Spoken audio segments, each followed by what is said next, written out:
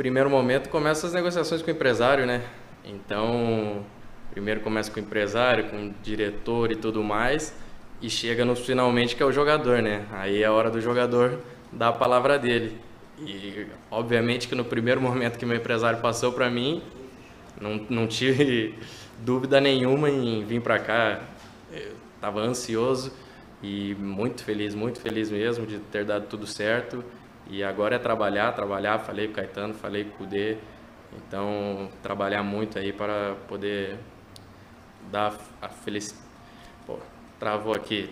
Poder ajudar com que eles colaboraram comigo, né? E trouxeram, tiveram confiança. Pô, primeiro porque o Atlético é muito grande, né? Segundo porque vou trabalhar com um profissional que já me conhece, então não venho do zero. É... Caetano também me conhecia, sabe o que eu posso ajudar aí na equipe e obviamente por esses dois fatores. Quanto a outras propostas, não sei, mas quando veio a do Galo, não tive dúvida em hesitar.